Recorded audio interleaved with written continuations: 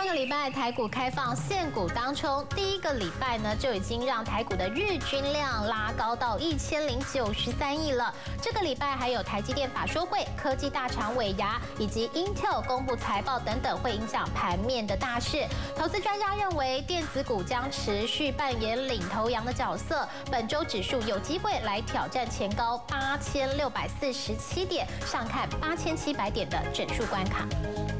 台股法说会蓄势待发，周二明轩以及 F 东林两家船产公司分别参加国内券商所举办的法说会。紧接着科技法说会大戏将由台积电在周四单纲，下旬接续有联电、细平、友达、旺宏、南科、华亚科、盛群、中华电等科技大厂排定法说会。而持续进入岁末年关，正值尾牙参会旺季，人保、广达、宏达电等科技大厂将在本周陆续举行尾牙。科技大佬以及公司高层对于去年业绩回顾以及今年产业展望等，都是法人以及市场关注的焦点。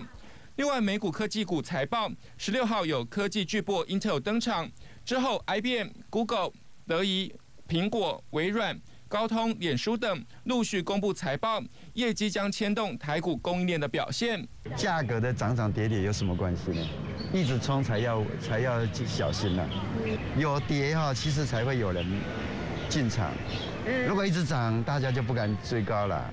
所以用用用健康的态度来看。现股当冲政策推出之后，台股上周单日平均成交量已经突破了千亿元，后续渴望上演以量推价的戏码。美商高盛与瑞银证券将今年台股指数高点预估值分别由九千两百点与八千八百五十点上调到九千五百点与九千零五十点，直言元月效应所带动的资金动能仍然会推着指数往上走。量能潮备受市场期待，今年首波新股挂牌热潮也将在本周涌现，包括 F 盛月、F 绿月、FAS、F 泰景等四家新上市柜挂牌，康联讯则是挂牌新贵交易。东财新闻综合报道。